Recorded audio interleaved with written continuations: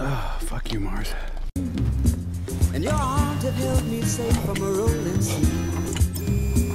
There's always been a quiet place to harbor you and me. Our love is like a ship on the ocean. What is he doing? I'm, uh, I'm gonna dip this potato in some crushed Vicodin. And there's nobody who can stop me.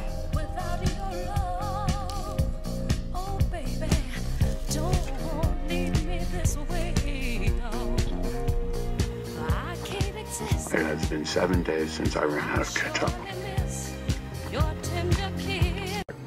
I'm about to leave for the Schiaparelli crater where I'm going to commandeer the Ares 4 lander. Nobody explicitly gave me permission to do this, and they can't until I'm on board the Ares 4.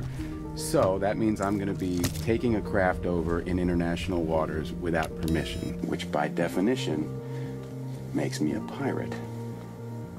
Mark Watney, space pirate.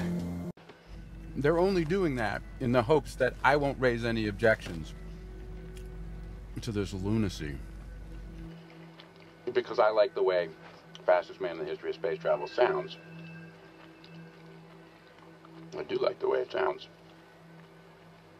I mean, I like it a lot. I'm not going to tell them that.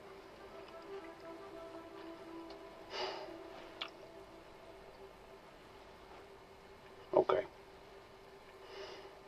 Let's do this.